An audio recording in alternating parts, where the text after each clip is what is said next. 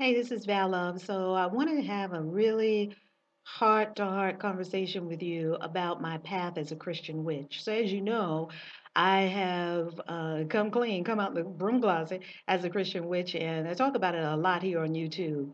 And I wanted to share this with you uh, a story. One day I was walking, a story from my journey. And one day I was walking, and my life had been 26 years as one of Jehovah's Witnesses. And if you listen to some of my YouTube videos, you know the, the story. You know about that. You know about my path, and you know about the 26 years that I spent as one of Jehovah's Witnesses. And you know that probably it was not my choice to be a witch. I don't, on a conscious level. Now, on a soul level, yes, and on a on the divine path we're called to be authentic to really get clean and clear about who we are why we're here what we're here to do and how we're going to present. And how you present is the authentic self. And that has been excuse me just a tremendous uh, path a tremendous journey for me is presenting the authentic self. And without fear because I had tremendous fear about being magical, about being a witch, about being think, thought of as different, about being abandoned, about being kicked out, about not being accepted, about being rejected, blah, blah, blah, blah, blah. You know, all the stuff that comes up. So one day I was out on a walk. This was years after I had come out of being one of Jehovah's Witnesses years after I had come out of being one of Jehovah's Witnesses. And I was walking, I was walking, I was walking. I was feeling free. I was feeling happy. I was looking up at the sky and I was thanking God. And I said, Thank you, God. I still remember the prayer. I still remember the conversation I was having with the divine, not out loud, within myself. Thank you, God, that I got out of the box. I was so happy to be free of the box because as you can see, I'm unhinged. I'm like totally out of the box. so out the box. And it felt good to be free. And I was saying in the prayer, wow, so happy to be out the box. And I could even see that lid opening and me hopping out and it how many years it took to come out of the box and how many people have stood at the edge of the box while I was cowering in the box, coaxing me. We bid you come out the box.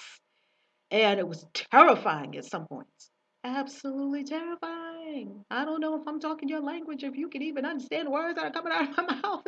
this is, was terrifying from the standpoint of a person with abandonment issues already and, and mistrust issues, and in prior lifetimes being burned at the stake as a witch, which I clearly remember. Once being beheaded as a witch, which I remember.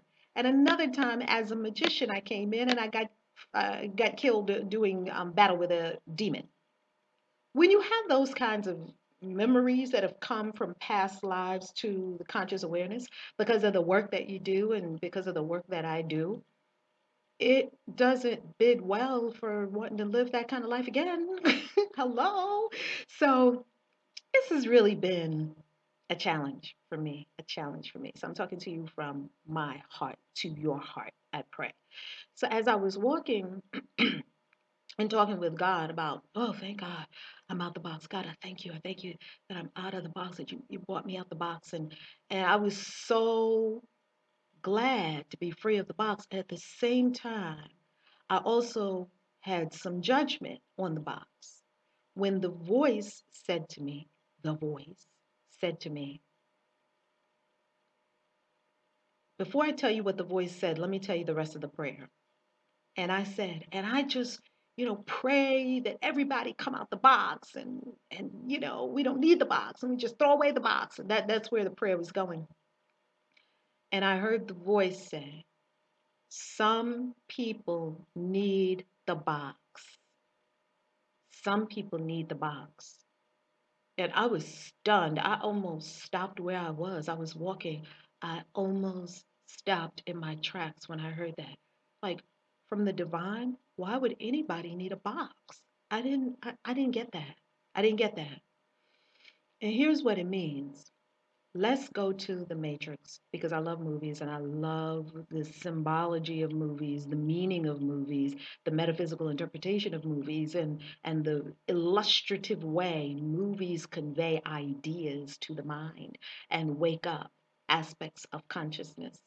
Let's go to the Matrix. In the Matrix, Morpheus said about Neo that it was late when we got him out of the Matrix and we usually don't do that.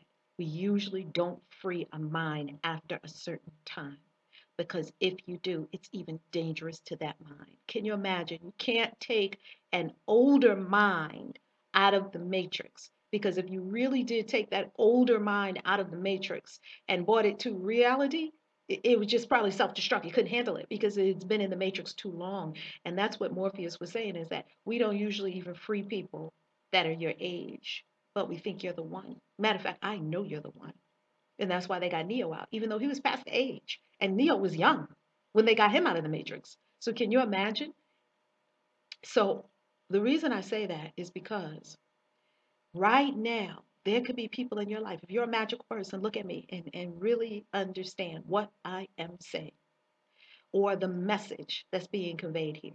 If you're a magical person, let's say you're a witch, or let's say that you have a path, that you want to walk the path of Yoruba or Santeria, or you want to be uh, engaged in Wicca, or you want to uh, join a an organization like Golden Dawn and you really want to pursue that path, or you want to pursue any path that's unlike the path that your clan was in and that you were in with your clan. Now, I'm specifically speaking to people who are Christians because that was my flow and that was my clan. So I was in the Christian experience and I ain't giving up Jesus for nobody. I love him. That's my dude.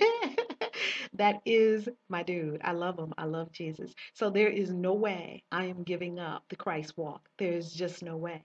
And so it was for me to find a way to integrate the Christ path the Christ way of being with the magical way of being.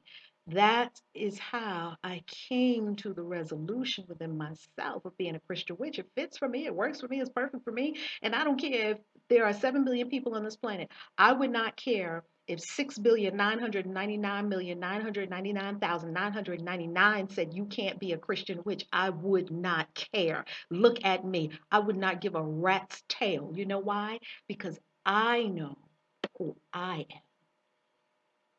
You have to know who you are. And you are as God created you. And God doesn't make mistakes. God knows what God's doing. Hello.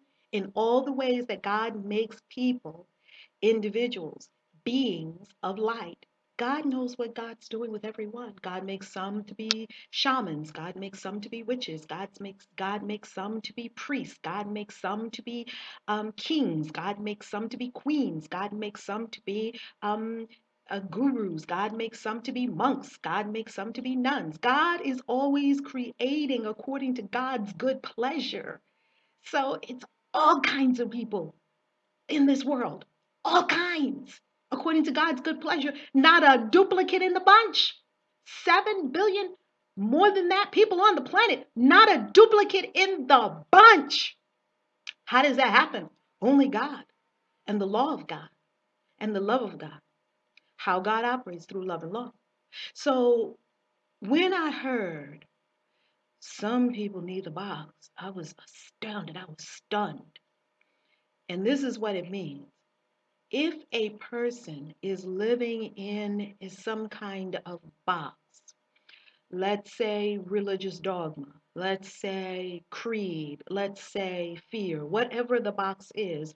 For me, the box was religious dogma. For you, it could be whatever it is.